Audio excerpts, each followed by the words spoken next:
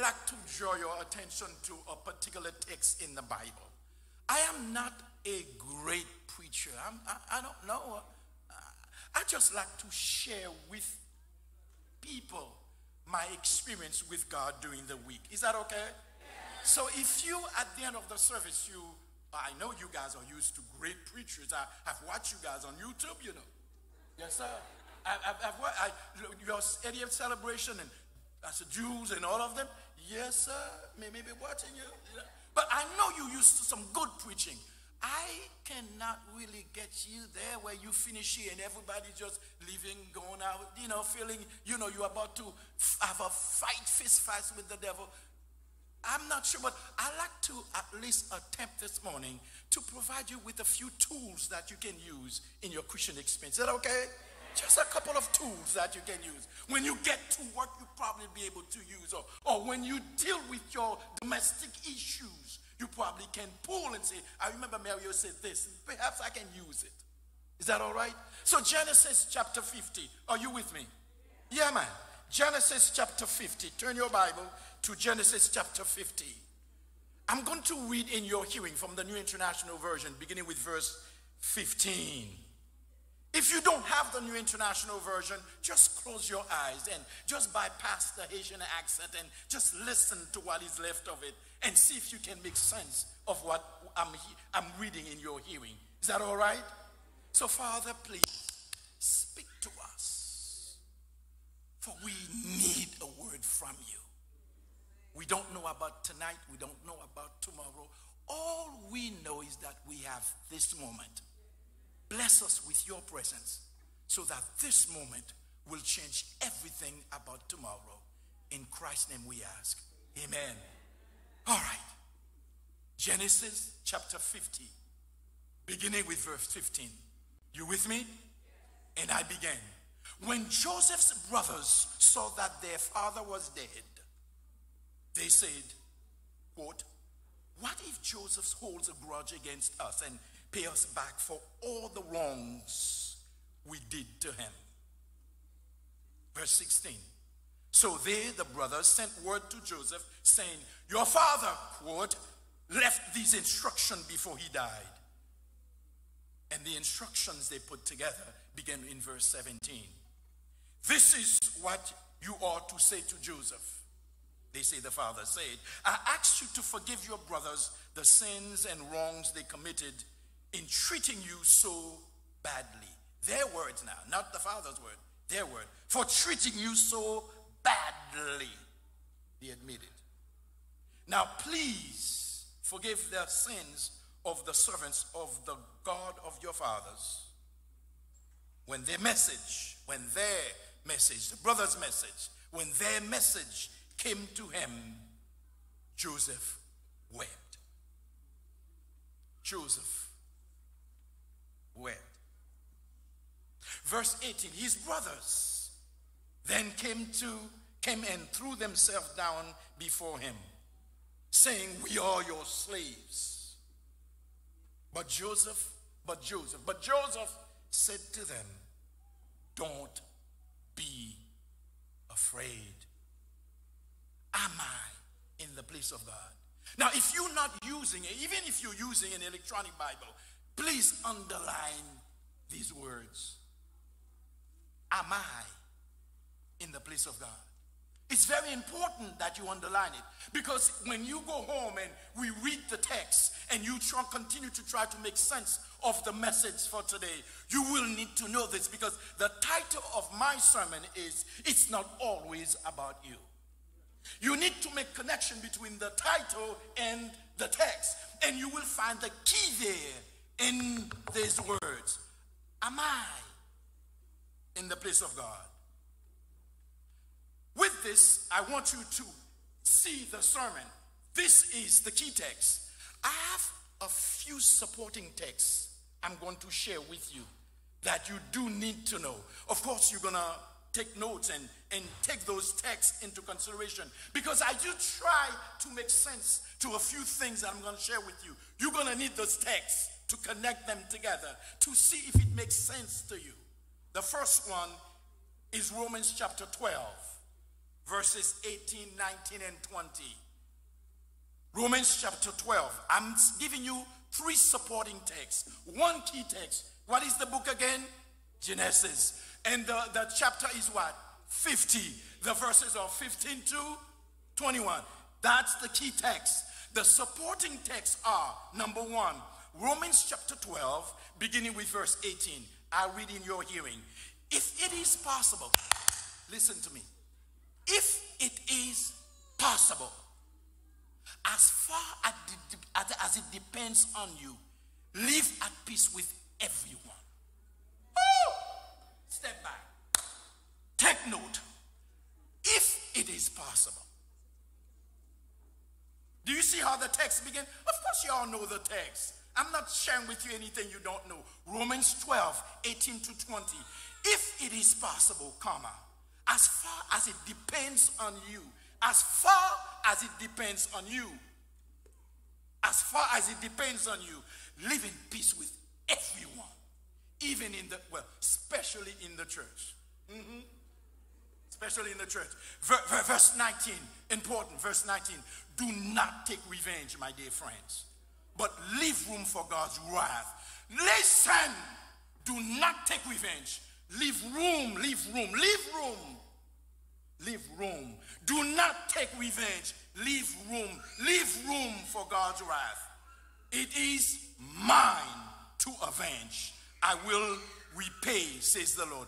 When I was putting the sermon together, I was tempted to go and do my little research to do a comparison between those two words, revenge and avenge. But I said, well, listen, these are a bunch of professional, intelligent people, PhD, doctors, lawyers, teachers. Okay, I don't need to do that. Y'all can do that on your own. But what I want you to notice, the text says that do not take revenge. And God said that God will avenge. There's a vast difference between revenge and avenge. And God wants us in relationship with one another. We understand that it is not ours to revenge, it is God to avenge. And when you get home, please just try to see the difference between the two so the text can come alive and grab a hold of you and change you. Verse 20, on the contrary, if your enemy is hungry, feed him. If he's thirsty, give him something to drink. In doing so, you will build, burn, be heap burning cold over his head. The second text I want you to take note of, of is Leviticus chapter 19, verse 18. I'm going to go far fast because I don't want to miss my time. Do not seek revenge. Woo! Speaking to Mount Vernon, speaking to Seventh day Adventists, God said, Do not seek revenge or bear grudges against any of your people, but love your neighbor as yourself. I am the Lord. Whenever you see God make a declaration or statement, and then he say, I am, he's establishing his authority over your life. And I'm going to drop something right here. The moment you choose God as your personal savior, you giving up the you have given up the right to manage your life. Now that one you need to say amen. amen. Amen than that.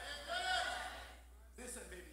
The moment you accept Christ as your personal savior, control of your life, management of your life is turned over from you to God. Most of us like to micromanage our life, and then we tend to be advocates. Advocates don't manage their lives. Everything that happens in our life, we ask God, what in the world is going on? I don't understand, but we do not seek to take control. Amen. Well, thank you, my brother. You know, I was about to take my little book and walk out and just, yeah, you're with me. This thing is serious. Last text, 1 Samuel 26. I'm not even start preaching yet and I'm getting excited. Let me take it easy. 1 Samuel chapter 26, verse 1. This is the third supporting text to the really real text for the element. Is the real text, Genesis 50, 15 to 20, right? And then the last of the supporting text, 1 Samuel 26, 11. But the Lord forbid that I should stretch out my hands against the Lord's anointed. Instead, take the spear and water jar by his head and let us go. Now, you remember this statement, and you remember who made that statement, David. The understanding and stuff. Listen, if most of us will have our ways, when we get to heaven, we will take God to court for asking us to do things that he knows full well we cannot do. Whew, I want to stop for a moment and take a little breathe over this one. Are y'all listening to me?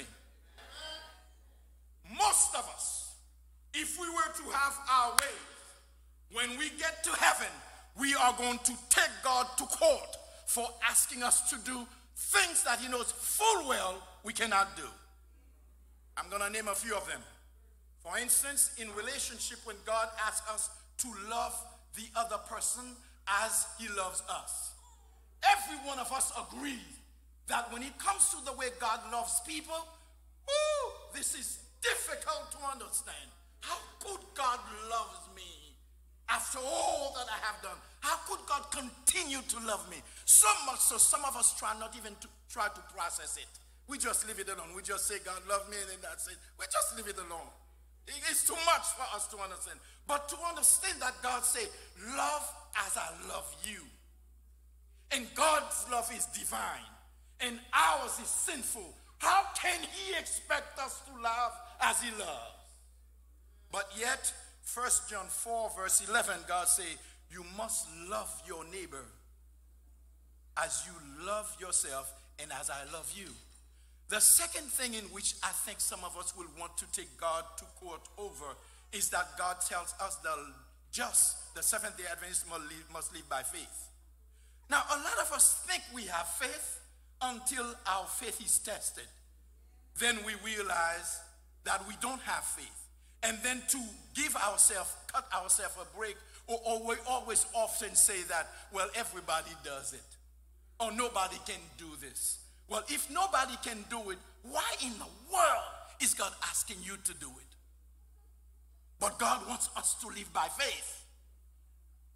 The third thing in which I think, and I would like to uh, spend the rest of the sermon on, is God's request for us to forgive one another. It was really, it was uh, a Sunday afternoon. When, when they moved me from Cornerstone to Coney Island, my family said to me, uh, Dad, we, we're not going to continue to hop with you from church to church to church to church. We would like to make relationship with people, long-term relationship. My family decided, since we lived upstate New York, they decided that from now on we're going to go to church, our church, and you can go to your church wherever you are. I said, good enough. When then they moved me from Coney Island to Mount Zion, naturally the day of the installation they were all there and then they didn't see them anymore. But we leave, we move to Hamden, Connecticut. So my children, every Friday after school, they look forward to leave my house. My eldest son was then 17. They decided that they will travel to uh, Hyde Park, and there they will spend their Sabbath at the Mid Hudson Seventh day Adventist Church, and then on Sunday they will come home. My son on Sunday afternoon was in his way. They called me to say that they were on their way back home. And then I got a call Daddy, the police just stopped me. And I said, Nathaniel, leave the phone on. When the police gets, put your hands on the dashboard and when the police gets to you, call him sir, show him respect, and do everything he said. My two other boys were in the back seat. And of course, Nathaniel is, was so scared. Any of you, neither you, you know my, my, my son Nathaniel. Nathaniel is a six foot two. He was then six foot one. Dark skinned, black boy, well built. Now, let me take a little commercial just in case any of you wonder what happened to me. Mind your business.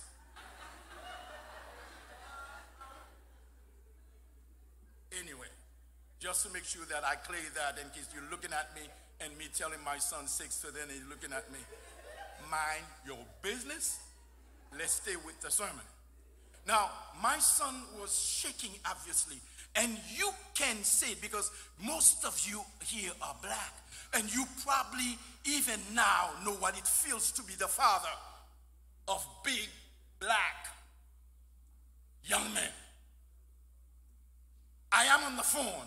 I cannot think of anything else because there's still a percentage, whether it is 10% or 2%, there's still a percentage point that my son's life might end today.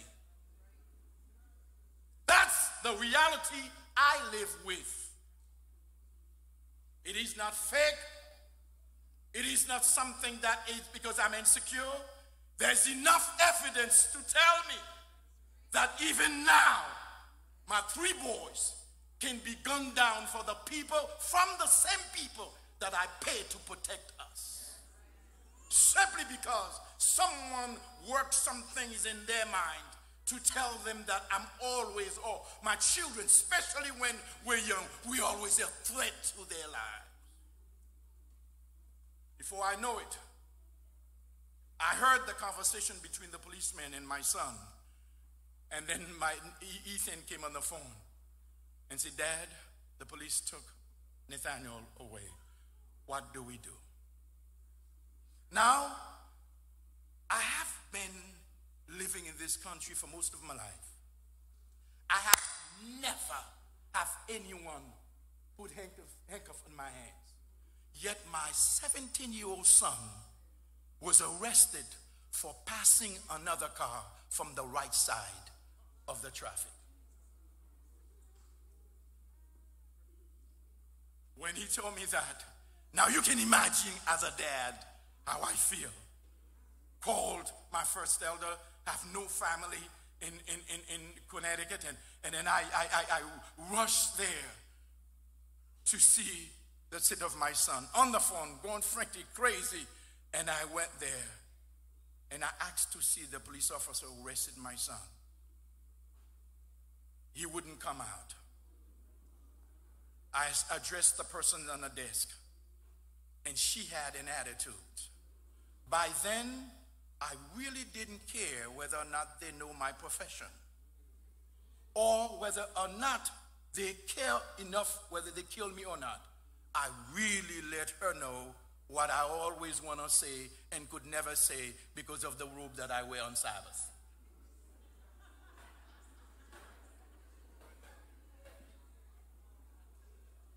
Yeah, you go ahead and look at me as if, uh huh.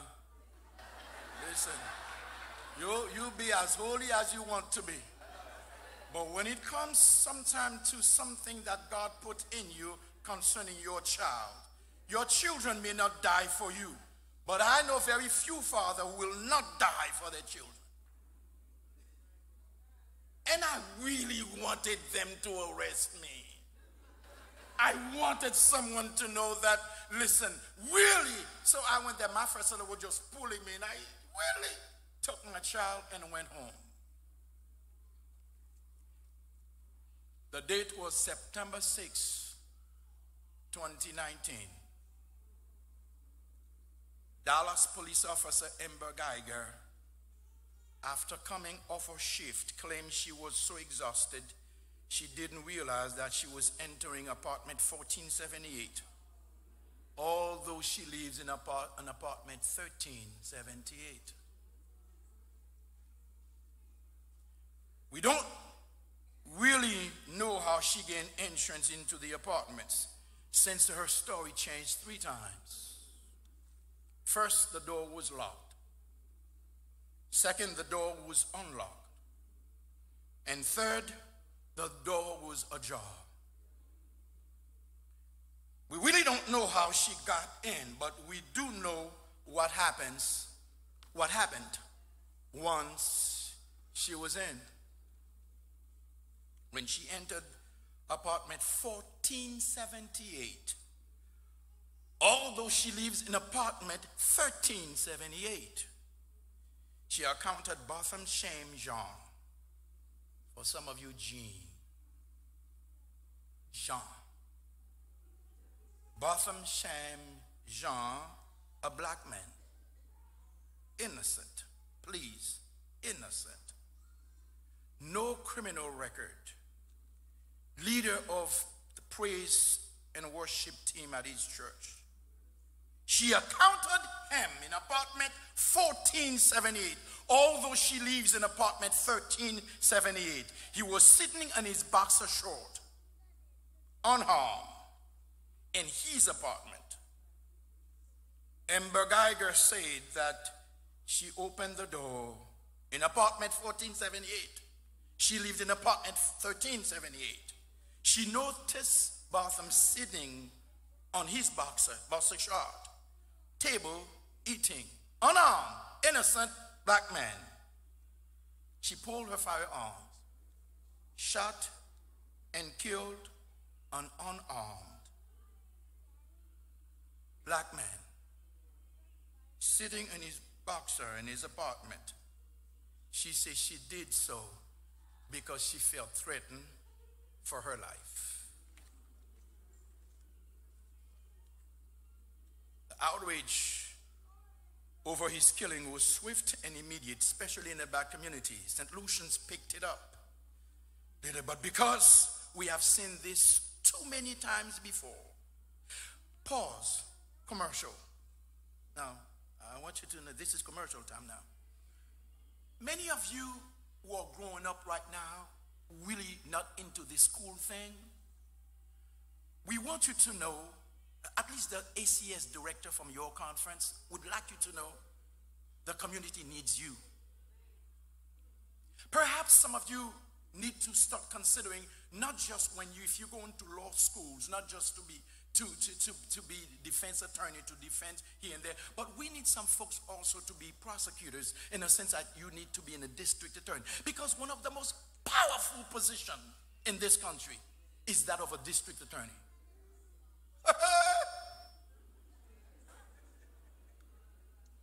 now, one thing, Pastor Legay and I, we were talking, one of the things, as soon as I get back from the Bahamas, make going send a letter to every one of them, try to have an appointment with them, you know.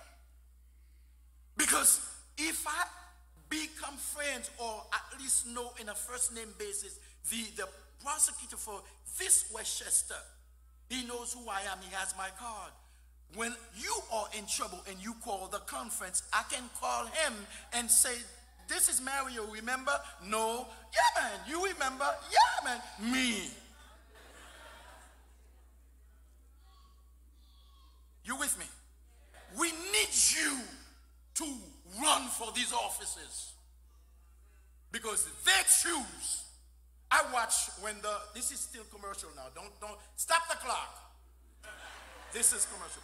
Uh, when when you watch the movie uh, in Netflix and and I don't want to advertise for another, but when you are and, and, and those innocent five and and then you all outraged, all this because the district attorney made a decision.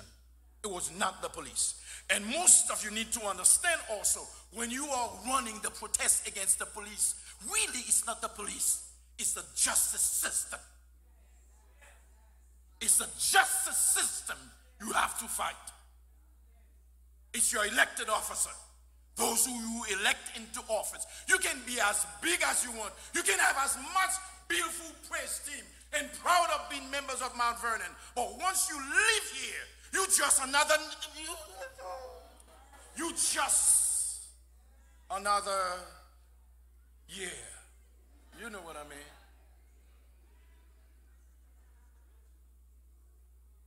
But the justice system seems to be, they show us the woman is blinded, but it seems like she always managed to lift this thing and see which color is coming before her. You're with me? No, I'm preaching the word now. Now, we run the clock. I want you to see something on the video that is about to be shown there. Pay attention. I have a reason for asking you to pay attention. I want you to learn something. Something in connection not only to the text, key text, but the supporting text that I read. I'll just make the connection and then I will take my seat and sit down. Is that okay? Roll the tape, please.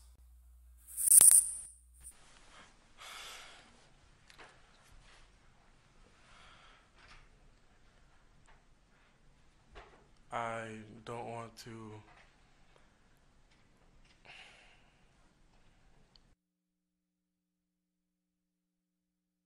Here's why. I want you to watch his body language. Watch his eyes.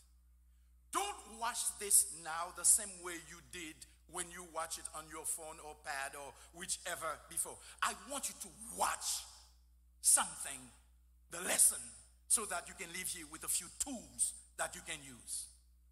Please watch.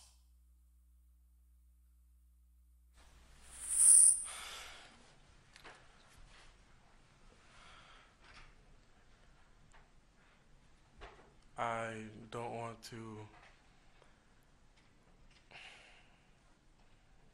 say twice or for the hundredth time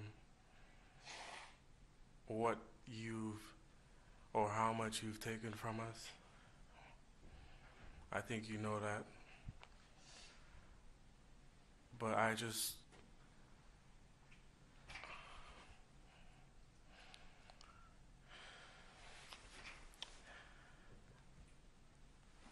I hope you go to God. little uh, when you call psychoanalysis, little stuff, and you're watching people's behavior and stuff like that, you notice he's struggling. You see how he's breathing, right? Now, whenever you're looking at someone, you listen, pay attention. And when he's about to say what he's been struggling with, watch the way he moved to sit at the tip of the chair, right?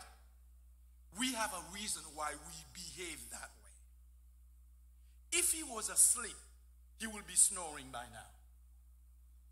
Because he's very much into what's about to be born from within him. Are you with me? Because right now, this boy is giving birth. Watch.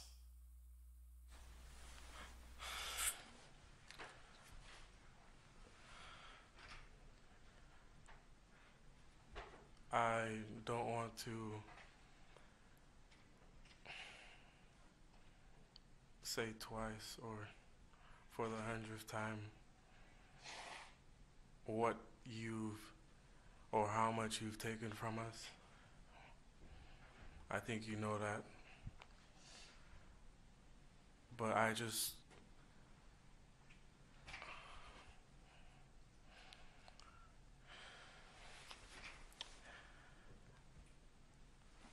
I hope you go to God with all what, all the guilt, all the thing, the bad things you may have done in the past. Each and every one of us may have done something that we're not supposed to do. If you truly are sorry, I know I can speak for myself. I I forgive you. And I know if you go to God and ask Him, He will forgive you.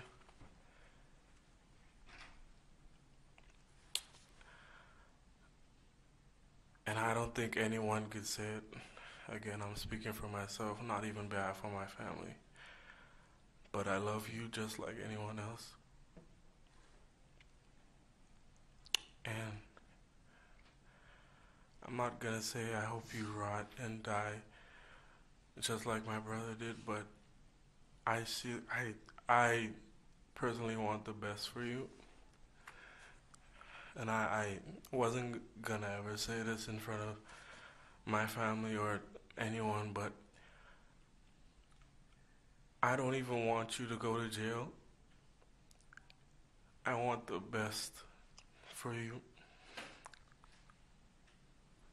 Because I know that's what that's exactly what Botham would want you to do.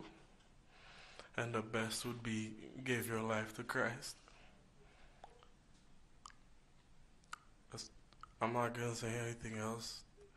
I think giving your life to Christ would be the best thing that Botham would want you to do. Again, I love you as a person.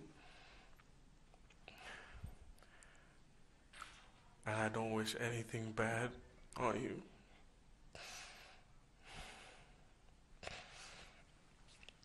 I don't know if this is possible, but can, can I give her a hug, please? Please? Yes.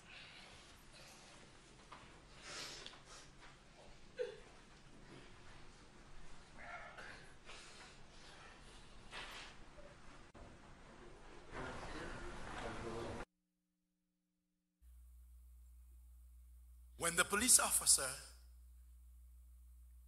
arrested my son for passing another car from the right side of the traffic, I was so enraged, I wanted to kill him.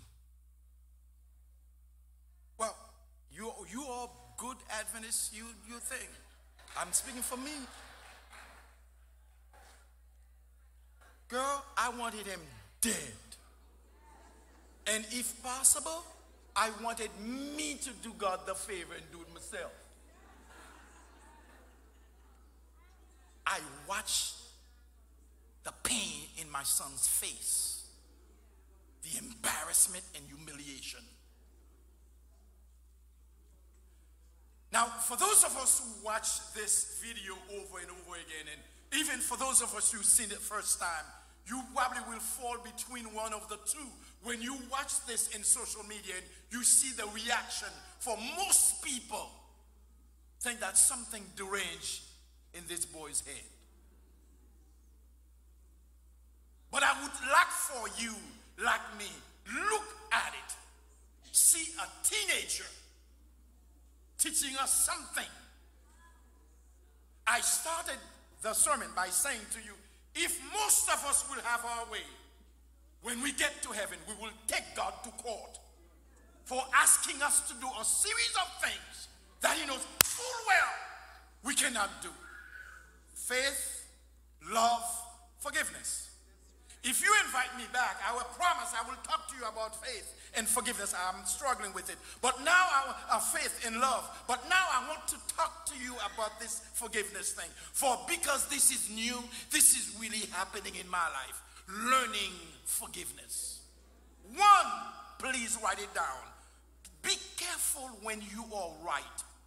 When you think you're right, you are the most dangerous person there is. If you write it down in your note in your phone, I want you to forget it. You are the most dangerous person when you think you're right. Because especially if you're Seventh-day Adventist, when you think you're right and God is on your side, you can do anything to anyone feeling justified because you are right and the person is in the wrong.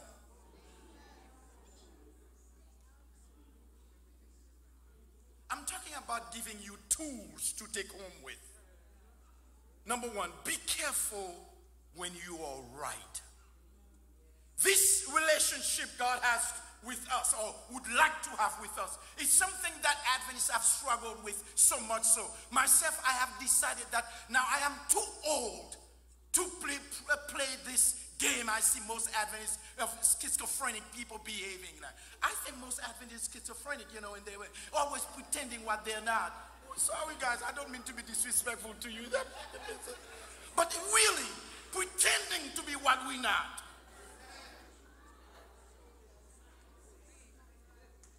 DSM 4. I have not graduated to DSM 5 yet, but pretending to be who we're not. This thing is really teaching me that I am not there yet. And I can still see Christ saying, Mario, come, let me show you. And the word said to me, if you cannot forgive, you will have no place with me in heaven. That nice lady who's been coming to church forever, that the husband left when she was young and she raised those children struggling for years while he's over there having good time with his young wife and leaving her alone there. She grew up and be good deaconess good ushers good this sabbath school teacher sabbath school and everything. And she has that husband sitting right in the top of her heart waiting for god's judgment and if you ask her have you forgiven him oh i forgive him i even pray for him I'm waiting for God's justice. And when an Adventist tell you they're praying for you, be careful, you know. Yes, sir. When Adventists tell you that I am praying for you, they're just waiting and wondering what's taking God so long.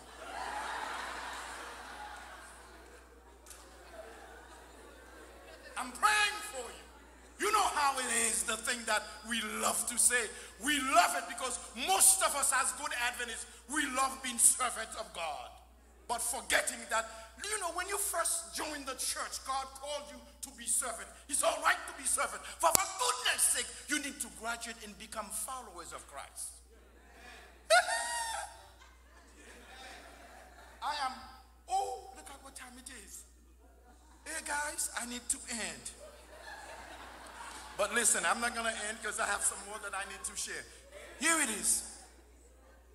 This thing that we call Adventist is much more than just being servants. Being a servant, you know what you're supposed to do. You return your tithes, you do some function in the church, and you don't eat pork, and then you behave right. You only do a little fornication here and there, but you don't really live with the person. Well, y'all, y'all looking at me as if you think that I don't know what's going on. You do your little something here and there, but you still behave, you do right. And then if God don't take you to heaven, it's because God is ungrateful. Because you're such a nice person. And all this stuff, you servant, you serve God. Servants do, you know, what they're supposed to do. But God wants you to follow him. Let's follow me. Because oftentimes, when you're following someone, oftentimes you gotta be careful because as you follow us, they often change lane without even put on their blinker, so you don't know where You gotta be careful, and you do not follow someone during the daytime the same way you do at night. When the difficulties come close and you are following, you need to remember if it's at night, stay close. Your vision is impaired. You need to have attention. You do not follow the person the same way when he's sunny and bright the same way when he's snowing. And you're in heavy traffic. Jesus wants you to understand that if you want to have relationship with God, you need to graduate from being servants to followers. Who don't know where Christ is taking you. You simply follow. You may not, you may have a GPS, but you still part of the convoy following after. And you don't know when he's making his move because he's leading. You never go ahead of the person leading you to where they're going. You step. Most of us don't want to be the last one in the thing. We want to be right behind the, the hearse. You want to be behind the person there. You want to do right. If you notice as you watch the video, you can tell he struggled with this. And even when the tie is not too tight, he probably has a 15 and a half, but it felt like it's a, it's, it's a 13 and a half. He kept pulling it as if it's choking him. And watch carefully. When you about to give birth to forgiveness, what you see involved there are three characters it's you, the person who wronged you, and God. It's never other people. When you go on Facebook and, and then you watch the comments there, they always say that slavery and, and white people and brown people and Indian, oh, please, has nothing to do with white people or Indians or. Uh, this is about God, me, and her me. And her. It's us. If you notice, he does not lecture anyone as to what to do. He does not talk about her profession or her skin color. He speaks of his struggle with what the reality is and tell her, this is my experience with God. And I can tell you, if you go to God, you will experience the same thing. Look at the little amen you give me. I think I'm gonna. I hate you know. We work hard on the sermon. I, I, I spend hours working. And I always, I always listen. go back and, and pull from my uh, folder some sermons that I preached before. But maybe spend some time working in the sermon. Oh, a little amen you won't even say.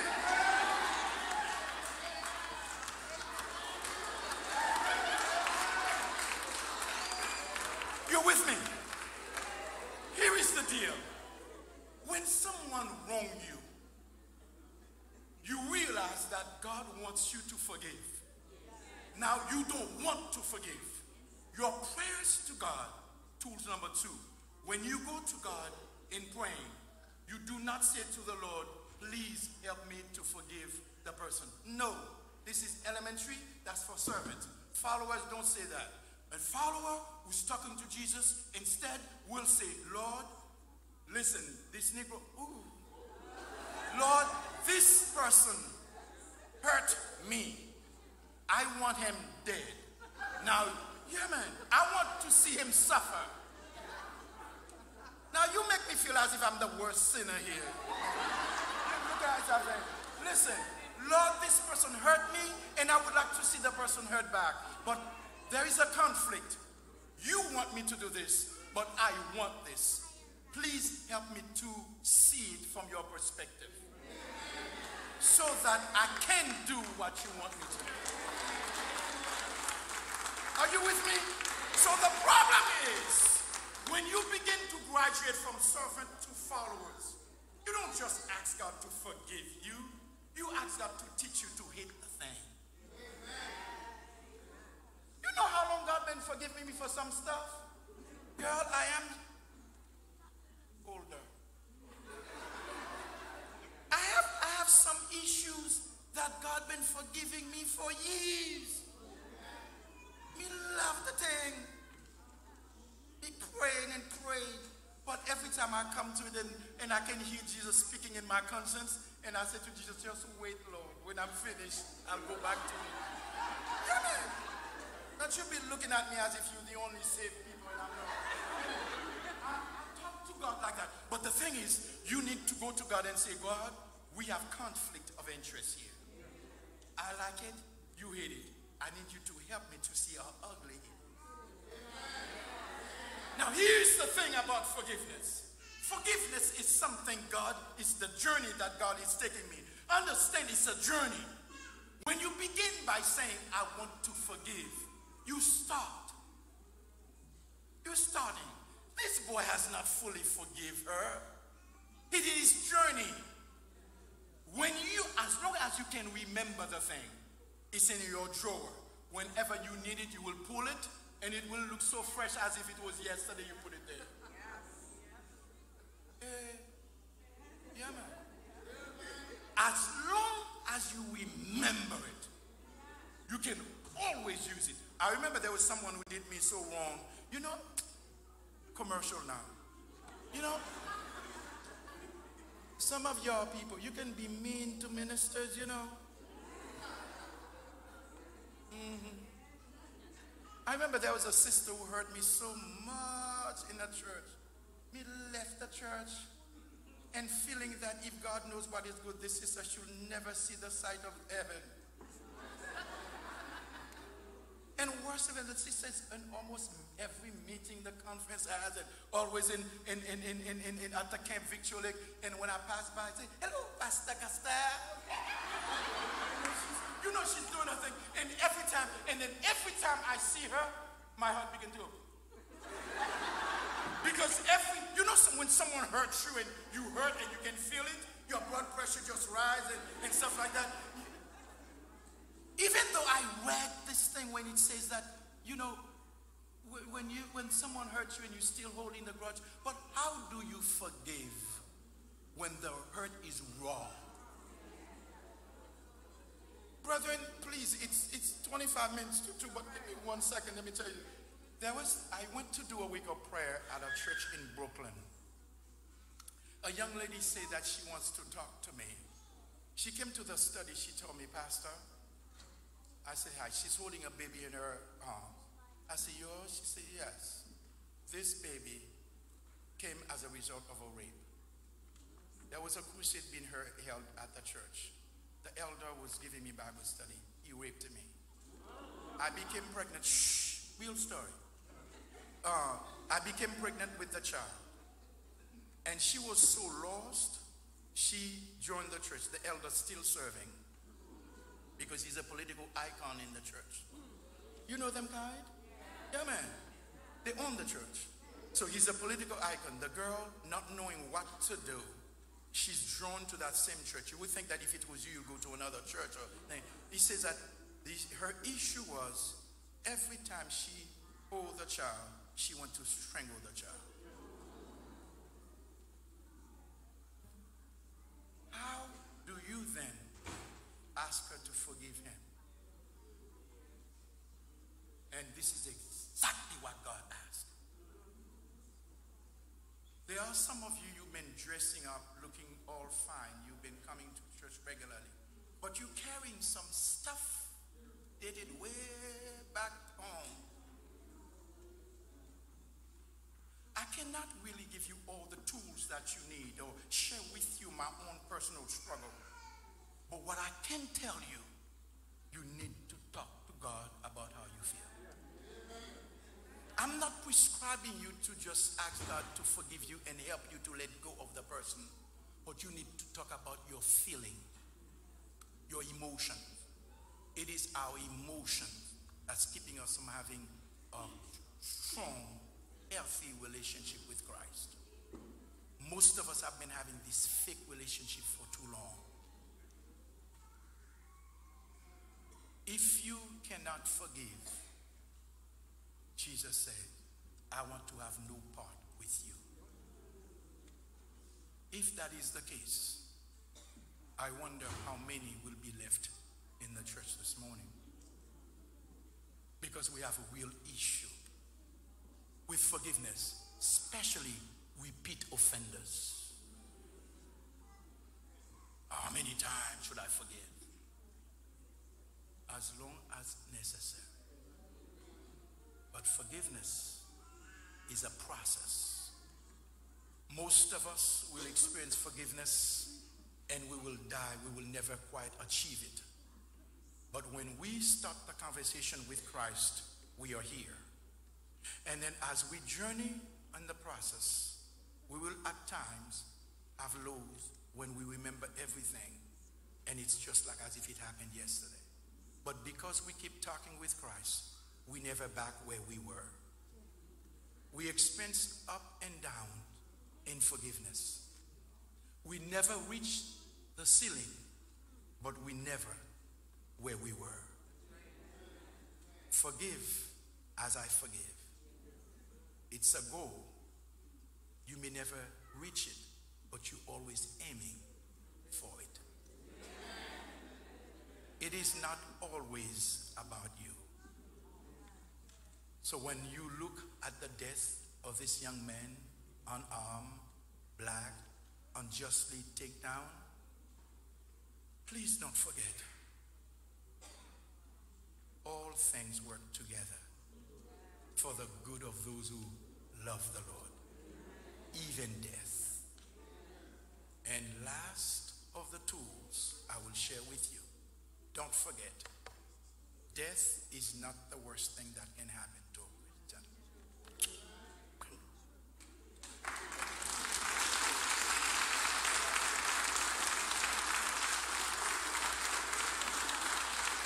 Let's do it.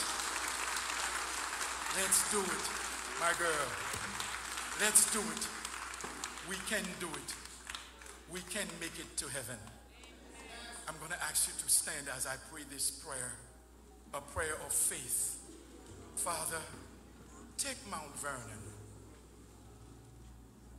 Elder Williams and the rest of the elders and my ACS directors who are working with me so faithfully, those in the IT department, the praise team, oh God, help us to deal with these emotions that are taking control of our spiritual lives. And please, Lord, please, finally today, we surrender all. Take over. Help us as we journey through forgiveness whatever the issues are, however difficult it is, Help us in the journey. Some will move faster than others. Some will experience setbacks, and, but some will go even faster than Brent. But in our journey, we want to be like you in love and faith and in forgiveness. Thank you, Father. In Jesus' name. You may be seated. Is God great? Put your hands together.